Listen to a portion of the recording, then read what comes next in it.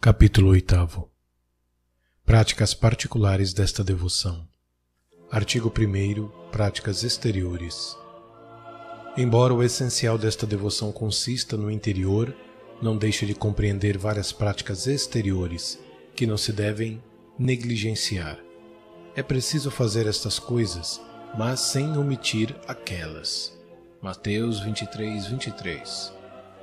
A razão disto esclarece-se quer porque as práticas exteriores bem feitas ajudam as interiores, quer porque lembram ao homem que sempre se guia pelos sentidos o que está fazendo ou o que deve fazer.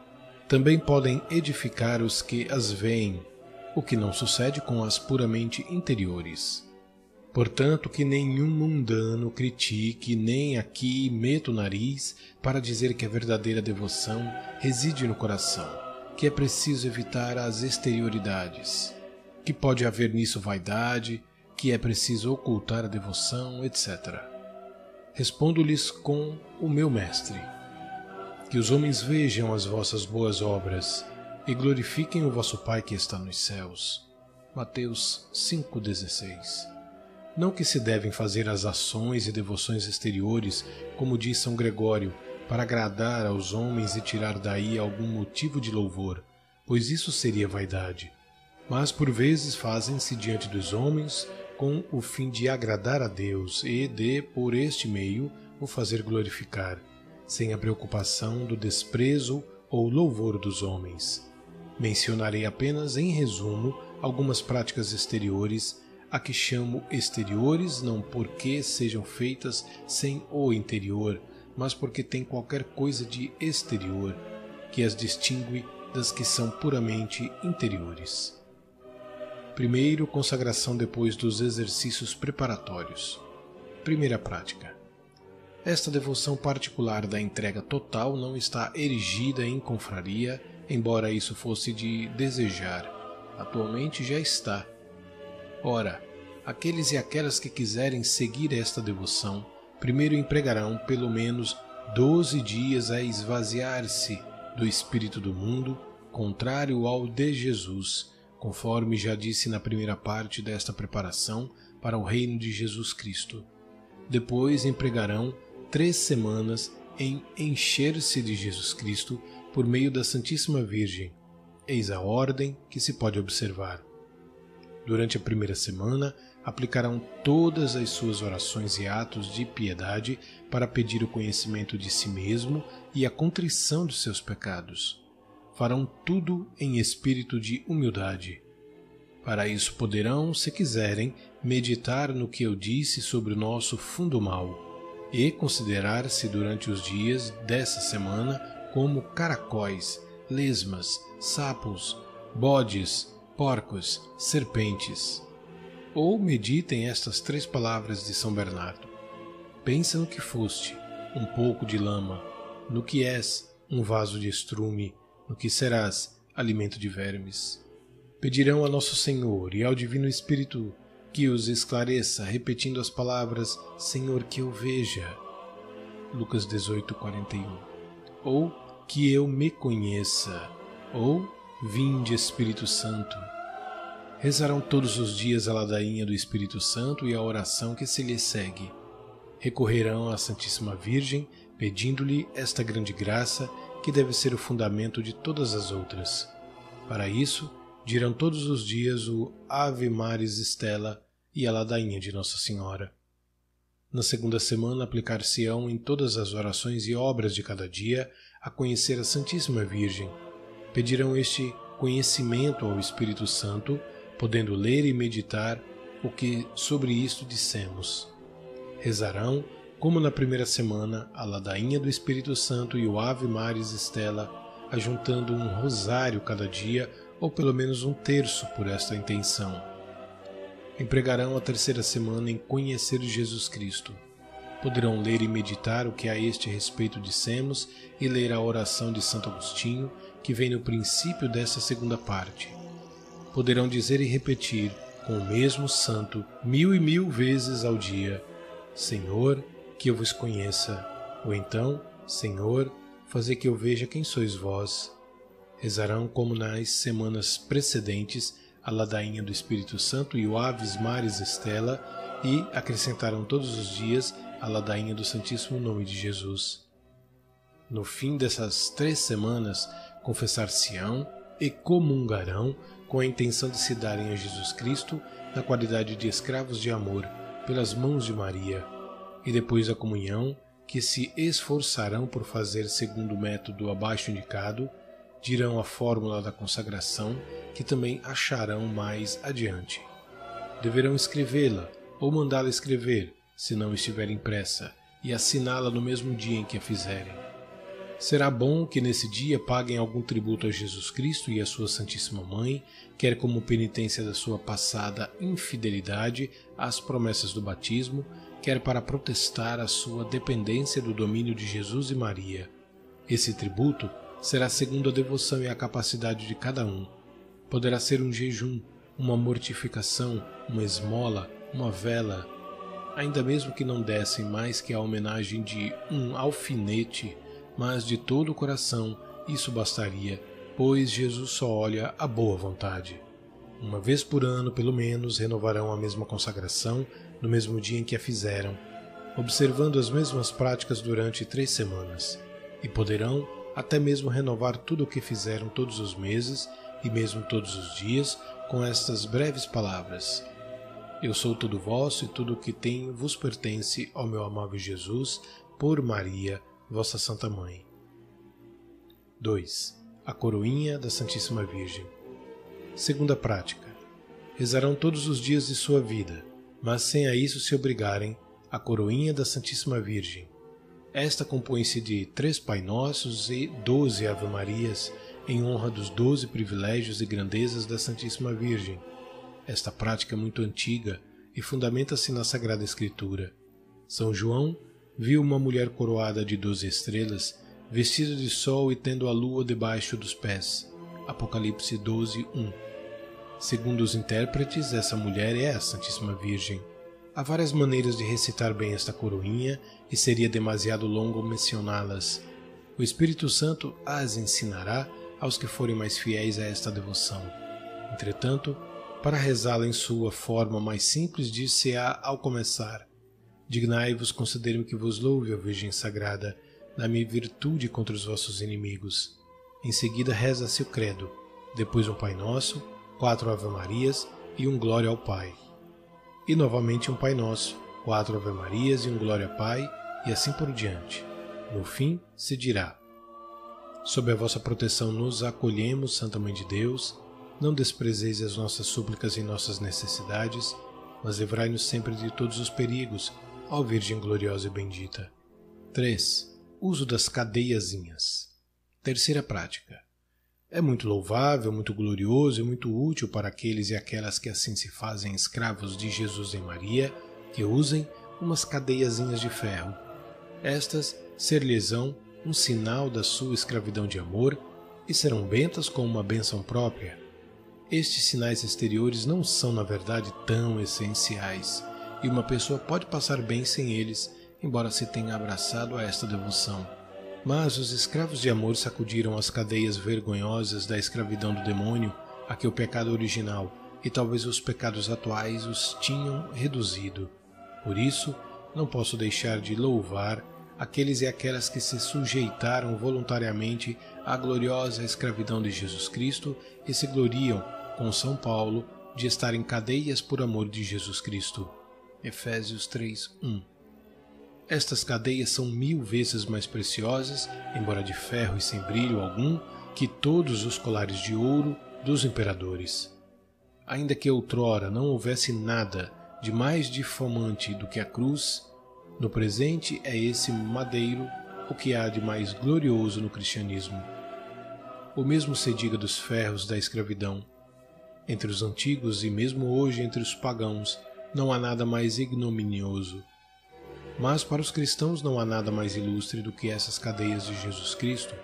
Elas livram-nos e preservam-nos dos infames laços do pecado e do demônio, colocam-nos em liberdade e ligam-nos a Jesus e a Maria, não por imposição e por força, como se faz a forçados, mas por caridade e amor, como a filhos. Atraí-los-ei com cadeias de caridade, diz Deus pela boca de um profeta. Oséias 11, 4. Estas cadeias são, por conseguinte, fortes como a morte, pois, embora a morte destrua seus corpos, reduzindo-os à podridão, não destruirá esses laços da sua escravidão, já que, sendo de ferro, não se corrompem facilmente. E talvez no dia da ressurreição da carne, no grande momento do juízo final, essas cadeias, que lhes ligarão ainda os ossos, constituam parte da sua glória e sejam transformadas em gloriosas cadeias de luz. Felizes, portanto, mil vezes felizes, os ilustres escravos de Jesus em Maria, que usarem essas cadeias até a sepultura. Eis as razões por que se usam estas cadeiazinhas. A primeira razão é para que o cristão se lembre dos votos e promessas do seu batismo, para que se recorde da renovação perfeita que deles fez por meio desta devoção e da estreita obrigação em que está de lhe ser fiel. O homem conduz-se muitas vezes mais pelos sentidos do que pela fé pura e esquece-se facilmente das suas obrigações para com Deus, se não houver qualquer coisa exterior que lhe as faça lembrar. Ora, estas cadeiazinhas servem maravilhosamente bem para lembrar ao cristão as cadeias do pecado e da escravidão do demônio de que o batismo livrou. Lembram também a dependência de Jesus Cristo em que o homem se colocou pelo santo batismo, bem como a ratificação que dela fez ao renovar as suas promessas. Uma das razões por que tão poucos cristãos pensam nas promessas do seu santo batismo e vivem tão livremente como se nada tivessem prometido a Deus, como os pagãos, é que não trazem nenhum sinal exterior que os faça lembrar disso. A segunda razão é para mostrar que não nos envergonhamos de ser escravos e servos de Jesus Cristo e que renunciamos à funesta escravidão do mundo, do pecado e do demônio. Temos de trazer ou as cadeias da iniquidade ou as cadeias da caridade e da salvação. Ah, meu querido irmão, Quebremos as cadeias do pecado e dos pecadores, do mundo e dos mundanos, do demônio e dos seus sequazes, e lancemos para longe de nós o seu jugo funesto. Salmo 2:3. Para me servir das palavras do Espírito Santo, ponhamos os pés nos seus gloriosos ferros e o pescoço nos seus grilhões. Eclesiastes 6:25. Curvando os ombros, levemos a sabedoria, que é Jesus Cristo sem aborrecermos as suas cadeias. Eclesiastes 6:26. Note-se que antes de dizer estas palavras, o Espírito Santo vai preparando a alma para que não venha a rejeitar este importante conselho. Eis as suas palavras. Ouve, meu filho, e recebe um conselho de sabedoria, e não rejeites o meu conselho. Permite-me, meu querido amigo, que eu me una ao Espírito Santo para te dar o mesmo conselho. As suas cadeias são cadeias de salvação. Jesus Cristo, do alto da cruz, deve atrair tudo a si, livre ou forçadamente. Ele atrairá os réprobos com as cadeias de seus pecados, a fim de os acorrentar, como forçados e demônios, à sua ira eterna e à sua justiça vingadora. Mas atrairá particularmente nestes últimos tempos os predestinados com cadeias de caridade. Atrairei tudo a mim, João 12:32. Hei de atraí-los com cadeias e vínculos de caridade. Oséias 11:4. Estes escravos de amor de Jesus Cristo, estes prisioneiros de Jesus Cristo, podem usar as cadeias ao pescoço, nos braços, à cintura ou nos pés. O padre Vicente Carrafa, sétimo geral da Companhia de Jesus, que faleceu em odor de santidade em 1643, trazia uma argola de ferro nos pés como sinal da sua escravidão e dizia que lamentava não poder arrastar publicamente as suas cadeias. A Madre Inês de Jesus, de quem já falamos, usava uma corrente de ferro em volta da cintura. Alguns outros usam-na ao pescoço como penitência pelos colares de pérolas que tinham trazido no mundo. Outros ainda usam-na nos braços para se lembrarem nos seus trabalhos manuais de que eram escravos de Jesus. 4. Culto especial ao mistério da encarnação. Quarta prática. terão especial devoção ao grande mistério da encarnação do Verbo, celebrado no dia 25 de março. É o mistério próprio desta devoção, visto que ela foi inspirada pelo Espírito Santo. Primeiro, para honrar e imitar a inefável dependência que o Filho de Deus quis ter de Maria, para a glória de seu Pai e para a nossa salvação. Esta dependência manifesta-se numa maneira particular neste mistério em que Jesus Cristo está cativo e escravo no seio de Maria Santíssima e onde depende dela em todas as coisas. Segundo, para agradecer a Deus as graças incomparáveis que deu a Maria e, particularmente, por a ter escolhido para sua tão digna mãe, escolha que se realizou neste mistério. Estes são os dois fins principais da escravidão de Jesus Cristo em Maria. Nota, por favor, que eu te digo habitualmente escravo de Jesus em Maria, escravidão de Jesus em Maria. Pode-se realmente dizer, como muitos o fizeram até aqui, escravo de Maria, escravidão de Maria, mas parece-me preferível dizer escravo de Jesus em Maria, como aconselhava o padre Tronson, superior geral do seminário de São Sulpício, célebre por sua rara prudência e sua piedade consumada. Foi assim que aconselhou um sacerdote que o consultou sobre este assunto. E as razões de tal proceder são as seguintes: primeira, estamos num século orgulhoso, sem que abundam os sábios soberbos, os espíritos fortes e críticos, que acham o que criticar nas práticas de piedade mais fundadas e mais sólidas. A fim de não lhes fornecer, sem necessidade, um pretexto de crítica, vale mais dizer escravidão de Jesus Cristo em Maria e dizer-se escravo de Jesus Cristo do que escravo de Maria. Assim, denomina-se essa devoção, mais de acordo com o seu fim último, que é Jesus Cristo, do que com o caminho e meio para lá chegar, que é Maria. Apesar disso, podemos na verdade usar sem escrúpulos ambas as denominações, como eu mesmo faço. Por exemplo, um homem que vai de Orleans a Tours pelo caminho de Amboise pode muito bem dizer que vai a Amboise e que vai a Tours, que é viajante para Amboise e para Tours. No entanto, a diferença é que Amboise é apenas o caminho direto para ir a Tours e que só Tours é o seu fim último e o termo da sua viagem. Segunda, o principal mistério que se celebra e honra nesta devoção é o mistério da encarnação, na qual se pode ver Jesus em Maria, encarnado no seu seio. Por isso vem mais a propósito dizer escravidão de Jesus em Maria.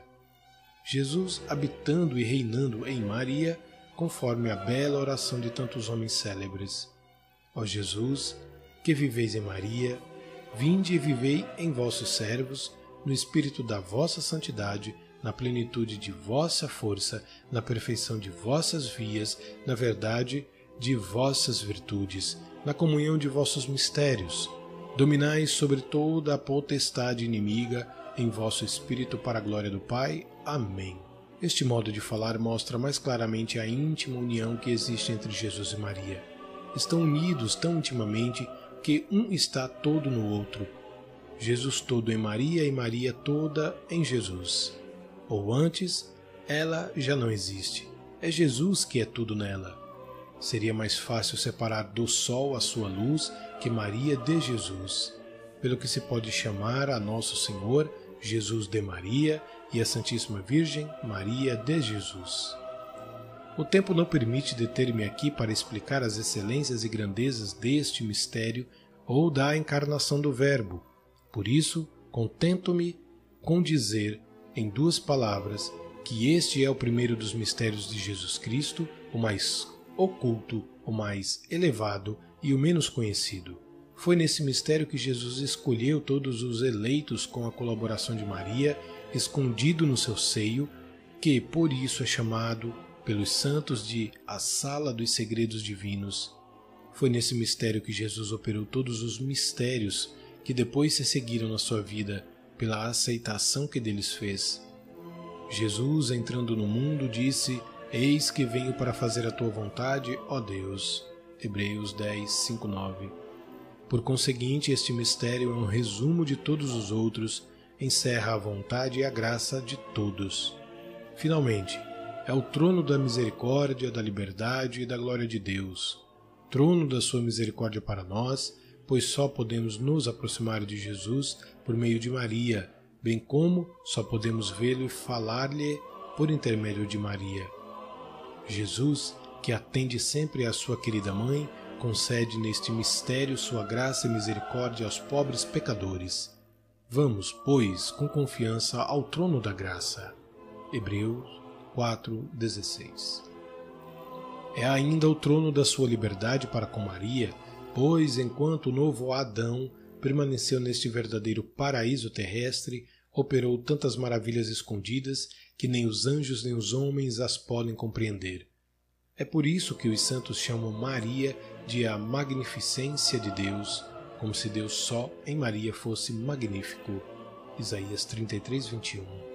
É também o trono da sua glória para o Pai Celeste, pois foi em Maria que Jesus Cristo aplacou perfeitamente seu Pai, irritado com os homens. Foi nela que Jesus reparou cabalmente a glória que o pecado lhe tinha roubado. No sacrifício que fez da sua vontade e de si mesmo, Jesus deu mais glória a Deus do que jamais lhe teria dado todos os sacrifícios da antiga lei. Enfim, foi em Maria que Jesus deu ao Pai uma glória infinita que jamais havia recebido do homem. 5. Grande devoção pela Ave Maria e pelo Rosário. Quinta prática. Terão muita devoção em rezar a Ave Maria ou saudação angélica. Poucos cristãos, embora esclarecidos, conhecem o valor, o mérito, a excelência e a necessidade desta oração. Foi preciso que a Santíssima Virgem aparecesse repetidas vezes a grandes santos muito esclarecidos, como São Domingos, São João Capistrano, o bem-aventurado Alano da Rocha, para lhes mostrar o mérito desta oração. Compuseram grossos volumes sobre as maravilhas da sua eficácia na conversão das almas. Publicaram altamente e pregaram publicamente que, tendo a salvação do mundo começando pela Ave Maria, a salvação de cada alma em particular está ligada a esta oração. Foi esta oração que fez dar à terra seca e estéril o fruto da vida, e é esta mesma oração que, rezada com devoção, deve fazer germinar nas nossas almas a palavra de Deus e fazer brotar o fruto de vida, que é Jesus Cristo. Disseram ainda que a Ave Maria é um celeste orvalho que rega a terra, isto é, a alma, para lhe fazer produzir fruto a seu tempo. E a alma, que não for regada por esta oração ou orvalho celeste, não dará fruto, mas apenas sarças e espinhos, não estando longe de ser amaldiçoada. Eis que a Santíssima Virgem revelou ao bem-aventurado Alano da Rocha, conforme é referido no seu livro de Dignitate Rosari e depois citado por Cartagena, que um sinal provável e próximo de condenação eterna é ter aversão, tibieza e negligência em rezar a saudação angélica que salvou todo o mundo. Palavras tão consoladoras, terríveis, que dificilmente se acreditariam se não tivéssemos esse santo por garantia, e antes dele São Domingos, e depois muitos outros grandes personagens com a experiência de muitos séculos. Efetivamente, sempre se verificou que os que trazem o sinal da condenação, como todos os hereges, os ímpios, os orgulhosos e os mundanos, odeiam e desprezam a Ave Maria e o terço. Os hereges ainda aprendem e rezam o Pai Nosso, mas não a Ave Maria nem o terço. Tem-lhes horror preferiam trazer consigo uma serpente a um terço. Os orgulhosos, embora católicos, como têm as mesmas inclinações que seu pai Lúcifer, também desprezam ou votam indiferença à Ave Maria, considerando o terço como uma devoção para efeminados, própria para ignorantes e analfabetos. Pelo contrário, a experiência tem mostrado que aqueles e aquelas que apresentam grandes sinais de predestinação amam, saboreiam e rezam com prazer a Ave Maria, e que quanto mais são de Deus, tanto mais gostam desta oração. Foi o que disse a Santíssima Virgem ao bem-aventurado Alano depois das palavras que acabo de citar. Não sei como isto se faz nem porquê, mas não deixa de ser uma realidade. Não tenho melhor segredo para conhecer se uma pessoa é de Deus do que ver se ela gosta de rezar a Ave Maria e o terço. E digo gosta porque pode acontecer que uma pessoa esteja na impossibilidade natural ou mesmo sobrenatural de a rezar, mas sempre gosta e a inspira aos outros. Almas predestinadas, escravas de Jesus e Maria, ficais sabendo que a Ave Maria é a mais bela de todas as orações depois do Pai Nosso. É a saudação mais perfeita que podemos dirigir a Maria, porque é a que o Altíssimo lhe transmitiu por um arcanjo a fim de lhe ganhar o coração. E foi tão poderosa, pelos encantos secretos de que está cheia, que Maria consentiu na encarnação do Verbo, apesar da sua profunda humildade. Será também por meio dessa saudação que lhe ganharemos infalivelmente o coração, se a dissermos como convém. A Ave Maria bem rezada, isto é, rezada com atenção, devoção e modéstia, segundo os santos, é a adversária que põe o demônio em fuga e o martelo que o esmaga. É a santificação da alma, a alegria dos anjos, a melodia dos predestinados, o cântico do Novo Testamento, o gozo de Maria e a glória da Santíssima Trindade. A Ave Maria é um orvalho do céu que torna a alma fecunda e um beijo puro e amoroso que se dá a Maria. É uma rosa vermelha que se lhe apresenta uma pérola preciosa que se lhe oferece. É um pouco de ambrosia e de néctar divino que se lhe dá. Todas estas comparações são dos santos. Peço-te instantemente, pelo amor que te tenho em Jesus e Maria, que não te contentes com rezar a coroinha de Nossa Senhora, mas rezes o terço cada dia, e mesmo se tiveres tempo, o rosário cotidiano. Se o fizeres, bendirás na hora da morte o dia e o momento em que me acreditaste. Depois de teres semeado nas bênçãos de Jesus e Maria, reconhecerás bênçãos eternas no céu. Aquele que semeia nas bênçãos, bênçãos recolherá também. 2 Coríntios 9, 6. 6. O Magnificar. Sexta prática. Para agradecer a Deus as graças que concedeu à Santíssima Virgem, as almas escolhidas dirão muitas vezes o Magnífica, é a única oração e a única composição da Santíssima Virgem, ou antes que Jesus compôs nela, pois ele falava pela sua boca. Ele é o maior sacrifício de louvor que Deus recebeu na lei da graça, por um lado, é o mais humilde e reconhecido, por outro, o mais sublime e elevado de todos os cânticos. Há nele mistérios tão grandes e escondidos que os anjos os ignoram. Gerson, doutor muito piedoso e sábio, Gastou uma parte da vida a compor tratados, plenos de erudição e piedade, sobre os mais difíceis temas. Mas foi só depois, no fim da vida, que empreendeu a tremer a explicação do Magnífica, para assim coroar todas as suas obras. Diz-nos, num volume em fólio, que sobre ele compôs coisas admiráveis do belo e divino cântico. Entre outras coisas, ele diz que a própria Santíssima Virgem o recitava muitas vezes, particularmente depois da Sagrada Comunhão em ação de graças. O erudito Benzônio, explicando também o Magnífica, conta muitos milagres operados pela sua virtude. Diz que os demônios tremem e se põem em fuga quando ouvem as palavras. Manifestou o poder do seu braço e confundiu os soberbos nos pensamentos de seus corações. Lucas 1,51 7. O desprezo do mundo. Sétima prática os fiéis servidores de Maria devem desprezar, odiar e fugir muito do mundo corrupto e servir-se das práticas de desprezo do mundo que indicamos na primeira parte.